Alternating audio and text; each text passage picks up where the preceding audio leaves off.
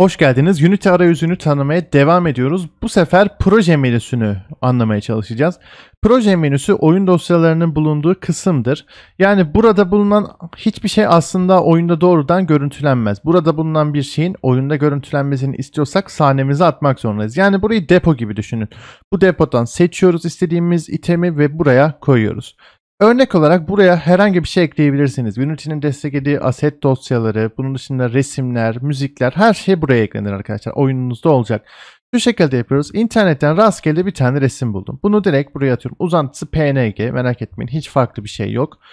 İlk dersimizde yaptığımız arkadaşlar nesnemizi silelim. Ses kaynağını silelim. Varsayılan olarak bu şekilde geliyor. Ben buraya bakın bıraktım.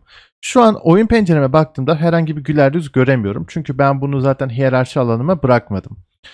Buradan basılı tutarak arkadaşlar buraya bırakıyorum.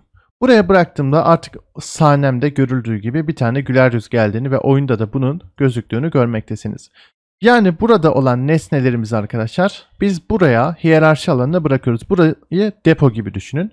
Fakat burası genelde bu şekilde düzensiz olmaz. Şu şekilde yapılır. Sağa tıklanır. Ardından yeni bir tane klasör oluşturulur. Mesela burada resimler, oyunda kullanacağımız resimleri biz buraya atarız arkadaşlar. Mesela kodlar, sağ tıklarız.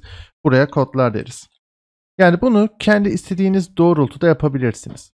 Buranın birazcık daha düzenli olması çok önemlidir. Çünkü oyun ilerledikçe arkadaşlar binlerce farklı dosya burada olacaktır. Proje kısmı bu şekilde kullanılır.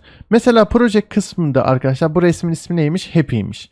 Siz buradan artık bir şey aramak istiyorsunuz. Tek tek hangi klasörde diye bakmak zorunda mısınız? Hayır zaten düzenli olduğu için resimleri tıklayarak bakabilir.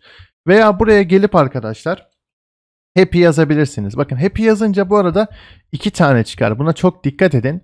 İki tane çıkması sağ tarafta bunların farklılıkları var arkadaşlar. Bunları ilerleyen derslerimizde sizlere anlatacağız. Evet şöyle yanlış bir şey oldu. Happy yazalım.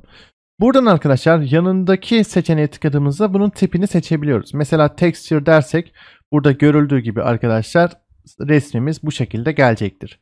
Burada mesela farklı farklı şeyler var. Bunları sizlere ilerleyen derslerimizde anlatacağız.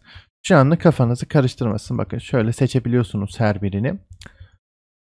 Evet bunlar genel olarak bu şekilde kullanılır. Bakın biri sprite biri shader. Buna lütfen çok özür dilerim. Biri sprite biri de texture. Buna çok dikkat edin.